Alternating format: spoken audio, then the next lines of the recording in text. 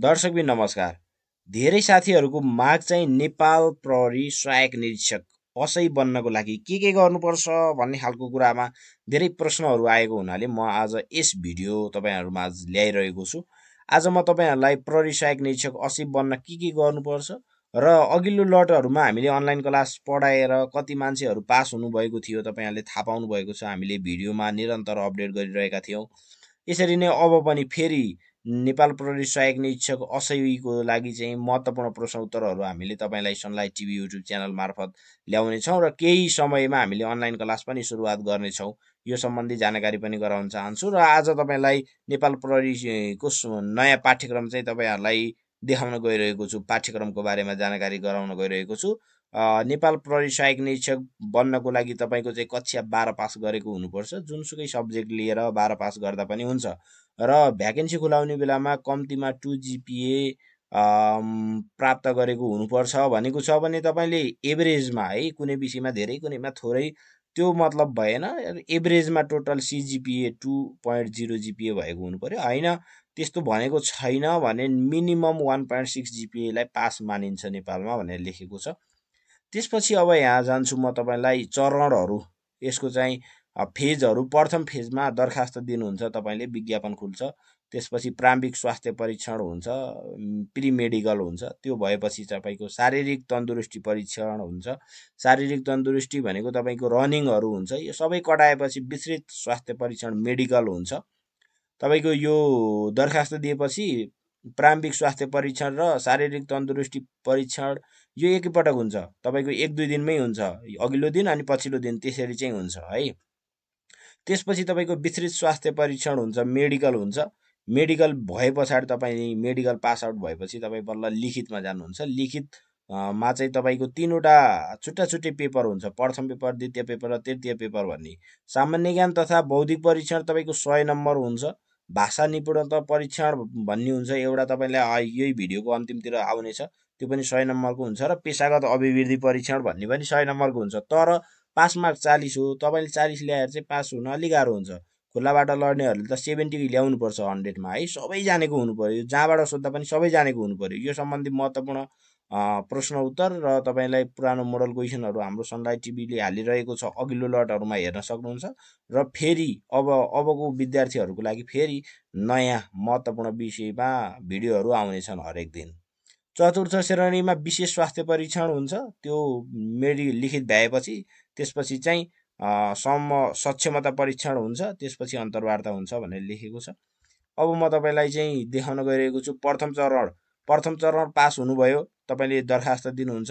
द्वितीय चरण स्वास्थ्य परीक्षण हुन्छ। स्वास्थ्य परीक्षणमा के के हुन्छ भन्ने खालको कुरा चाहिँ तपाईँको स्वास्थ्य परीक्षणमा सिम्पल सिम्पल कुराहरू हुन्छ। त्यस्तो खासै ठुलो कुराहरू हुँदैन।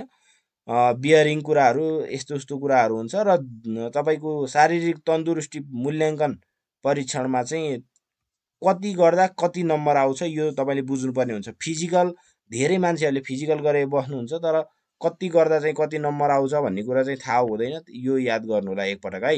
न त तपाईँले स्क्रिनसट पनि गर्न सक्नुहुन्छ। पुरुषको लागि र महिलाको लागि चाहिँ फरक फरक छ समय पनि फरक फरक छ होइन। तिन सय मिटर दौड हुन्छ दुइटैको लागि हाई जम्प हुन्छ त्यसपछि सिटअप हुन्छ त्यसपछि पुसअप हुन्छ चिनअप पुलअप हुन्छ अनि बत्तिस सय किलोमिटर भनेको लङ रनिङ हुन्छ। तिन सय मिटर दौड तपाईँले पचपन्न सेकेन्डभित्र हान्नुपर्छ है। पास हुनलाई पचपन्न सेकेन्डभित्र हान्नुपर्छ। हाई जम्प तिन फिटसम्म हाई जम्प गर्नुपर्छ। सिटअप बाह्र पटक भनेको चाहिँ तपाईँले आफै प्र्याक्टिस गर्दा बिस पटकसम्म प्र्याक्टिस गरेर जानु होला है पुसअप सिटअप र चिनअप तपाईँको पुसअप सिटअप बिस पटकसम्म र चिनअप चाहिँ कम्तीमा तपाईँले घरमै गर्दाखेरि चाहिँ बाह्र पटकसम्म गर्नुभयो भने धेरै राम्रो हुन्छ। फुल मार्क्स तपाईँले ल्याउन सक्नुहुन्छ है। त्यस पछाडि चाहिँ बत्तिस किलोमिटर तपाईँले अठार मिनटसम्म भनेको छ। तपाईँले पन्ध्र घरमा चाहिँ पन्ध्र मिनटसम्म तपाईँले चाहिँ हान्नुभयो भने बेस्ट हुन्छ। त्यसपछि म अलिकति तल पुगेँ। आफै प्र्याक्टिस गर्दा चाहिँ यो तपाईँले आफै विचार गर्नुपर्ने कुरा हो। त्यसपछि विस्तृत स्वास्थ्य परीक्षणमा के के स्वास्थ्य परीक्षण हुन्छ त भन्ने खालको कुरा चाहिँ योभन्दा तलतिर रहेको छ। विस्तृत स्वास्थ्य परीक्षणमा तपाईँको चाहिँ सबै कुराहरू चेक गरिने हुन्छ। तपाईँको सबै कुरा भनेपछि बुझ्नुहोस् है। सबै कुरा तर ब्लड प्रेसर तपाईँको वान हन्ड्रेड फिफ्टी छ भने पनि तपाईँ आत्तिनु पर्दैन। तपाईँले बरु खानामा चाहिँ अलिकति त्यो टाटो पिरो नखानु होला त्यो समय पानी धेरै खानु होला। एक सय चालिससम्मकोलाई अहिलेसम्म लिएको छ। त्यसपछि एकदमै बुझ्नुपर्ने कुरा भनेको लिखित परीक्षा। लिखित परीक्षा चाहिँ तपाईँको प्रथम पत्रमा सामान्य ज्ञान बौद्धिक परीक्षण। बौद्धिक परीक्षण तपाईँको यहाँ लेखिदिएको छ प्रश्न सङ्ख्या होइन? पच्चिस प्रश्न इन्टु दुई अङ्क पचास भयो नम्बर। सामान्य ज्ञान पच्चिस प्रश्न इन्टु दुई अङ्क गरेर पचास हुन्छ। यसरी चाहिँ तपाईँको पचास नम्बर पचास नम्बरको हुन्छ। बौद्धिक यसमा तपाईँको माइनस सिस्टम हुन्छ त्यस कारण मिस्टेक गर्नु हुँदैन है। सामान्य ज्ञान पचास नम्बर बौद्धिक परीक्षण पचास नम्बरको रहेको हुन्छ। परीक्षा चाहिँ वस्तुगत अब्जेक्टिभ भनेको मल्टिपल चोइस क्वेसन्स हो टिक लगाउने हो। माइन मिस्टेक भयो भने चाहिँ माइनस सिस्टम हुन्छ है। त्यसपछि त्यो पा त्यो पास गरिसकेपछि अर्थात् तपाईँले यो पहिलो दिन एक्जाम दिएपछि दोस्रो दिन तपाईँको अङ्ग्रेजी भाषा नेपाली भाषा भन्ने चाहिँ दुईवटा भाषाको भाषा विषयको तपाईँको चाहिँ इक्जाम हुन्छ। यसमा पचास पचास मार्क्सको पास चाहिँ बिस अङ्क छ बिबिस अङ्क छ तर पास मात्र भएर चाहिँ हुँदैन यसको लागि। त्यसपछि अर्को दिन फेरि एक्जाम हुन्छ। अर्को दिन चाहिँ पेसागत सैद्धान्तिक ज्ञान र पेसागत व्यावहारिक ज्ञान भन्ने हुन्छ। तपाईँ सेवा सम्बन्धी रहेका हुन्छन्। यसमा सेवा सम्बन्धी रहेका हुन्छन्। एकदमै धेरै। तपाईँ नेपाल प्रहरीमा प्रहरी सहायक निरीक्षक असैमा तपाईँको दरबन्दी कायम भइसकेपछि तपाईँ सिलेक्ट भइसकेपछि तपाईँले गर्नुपर्ने काम कर्तव्य अधिकार के के हुन्? प्रहरी सहायक निरीक्षकका काम कर्तव्य अधिकार के के हुन्? प्रहरी चौकी इन्चार्जको काम कर्तव्य र अधिकार के के हो? द त्यसै गरी चाहिँ तपाईँको अनेक प्रकारका प्रश्नहरू हुन्छन्। ती मोडल क्वेसनहरू म तपाईँलाई लिएर आउनेछु नेक्स्ट भिडियोहरूमा। नयाँ हुनुहुन्छ भने हामीसँग जोडिनु होला हाम्रो च्यानल सब्सक्राइब गर्नुहोला भन्न चाहन्छु। होइन? त्यसपछि अलिकति यहाँ लेखेको कुराहरू हेर्नु होला। यहाँ लेखेको छ नि क्लियर तरिकाले लेखेको छ। तपाईँको चाहिँ बिस प्रतिशत अङ्क काट्टा गरिने छ भनेको तपाईँको चाहिँ एक नम्बरको बिस प्रतिशत अङ्क भनेको तपाईँको पाँच न पाँचवटा प्रश्न बिग्रियो भने साढे दुईवटा बिग्रियो भने चाहिँ यहाँ दुई नम्बर एकको दुई नम्बर भएपछि साढे दुईवटा बिग्रियो भने तपाईँको एक नम्बर घट्यो। त्यसको कारण अलिक घाटा रहेको छ है यो टिकमा चाहिँ एकदमै याद गर्नुपर्छ।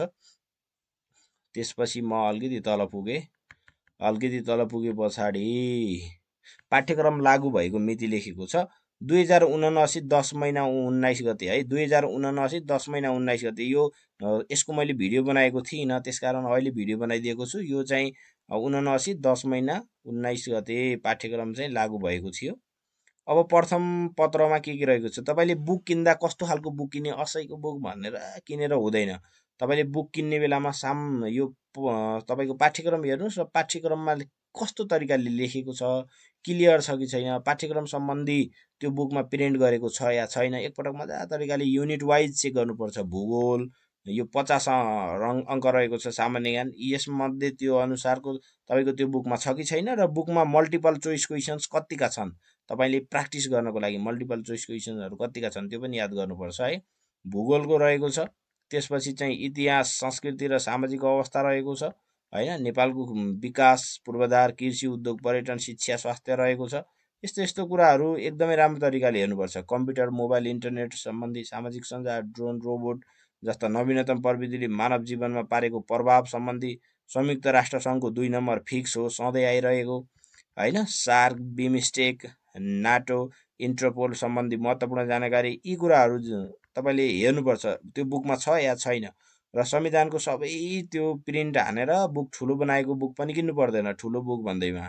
संविधानको भाग एक दुई तिन चार र पाँच र अनुसूचीहरू मात्र सोध्ने हो। त्यति भएको बुक किन्दा हुन्छ। धेरै त्यो ठुलो बुक किन्ने धेरै ठुलो पैसाको त्यो त्यो पनि आवश्यक छैन।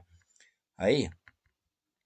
त्यसपछि अलिकति तल बौद्धिक परीक्षण भनेको तपाईँको बौद्धिक परीक्षण पचास नम्बरको हो। यसमा भर्बल रिजोले रिजोनेटिङ अनि त्यसपछि न्यु न्युमेरिकल रिजोनेटिङ त्यसपछि arithmetical test non verbal reasoning reasoning त्यस पछाडि चाहिँ अझै एउटा पोइन्ट हुनुपर्ने।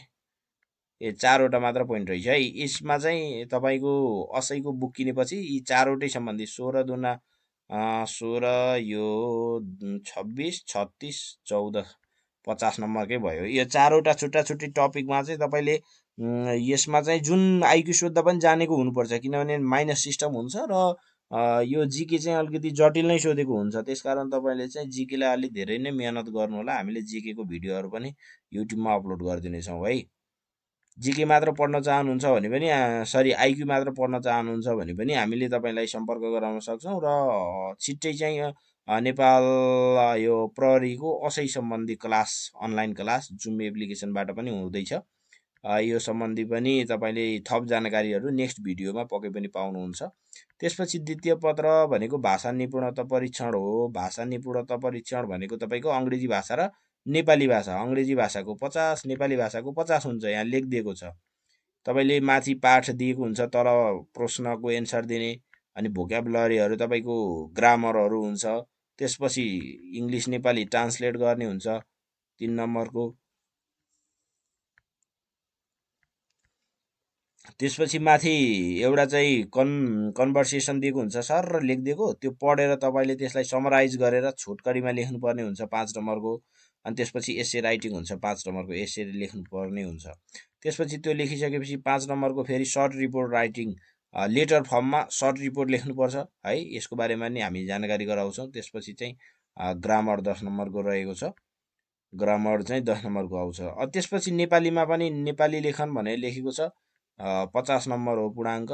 नेपाली लेखनको तिस नम्बर समसामयिक शीर्षकमा निबन्ध प्रतिवेदन ताकेता पत्र त्यसपछि कुनै विषयको टिप्पणी लेख्ने त्यसपछि व्याकरण चाहिँ दस नम्बर तिस दस चालिस नम्बर भयो। बाँकी दस नम्बर चाहिँ टुक्का उखान तथा अर्थ खुल्ने गरी वाक्यमा प्रयोग अनुच्छेदको सङ्क्षेपीकरण विस्तृतीकरण बुदा रिपोर्ट यो गरेर दस नम्बर रहेको छ। यो चाहिँ सिलेबस हो। सिलेबसको आधारमा पढ्नुपर्छ मान्छेले जहिले पनि। है यो पनि याद गर्नुहोला। त्यसपछि तृतीय श्रेणी भनेको सेवा सम्बन्धी हो। सेवा सम्बन्धी मान्छेहरू धेरै चाहिँ फेल हुने कारण भनेको सेवा सम्बन्धी हो।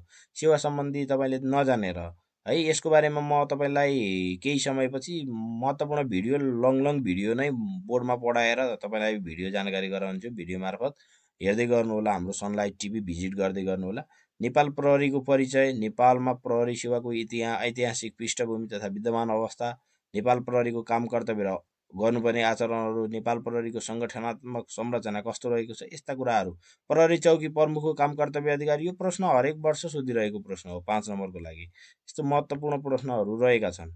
त्यसपछि सुरक्षा व्यवस्थापनमा दस नम्बर दस अङ्क रहेको छ। के के टपिकहरू रहेको छ एकपटक हेर्नुहोला। जसले बुक किन्नुभएको छ र बुक अनुसार यो मिलेको छ कि छैन त्यो पनि याद गर्नुहोला। है सिरियस तरिकाले याद गर्नुहोला। त्यसपछि विसङ्ग रहेको छ अपराध र अपराध अनुसन्धान। अपराध अनुसन्धानमा तपाईँको चाहिँ खानतलासी भनेको के हो र खानतलासी गर्दा ध्यान दिनुपर्ने कुराहरू पनि सोधिराखेको प्रश्नहरू हो। यो पनि याद गर्नु होला है खानतलासीको।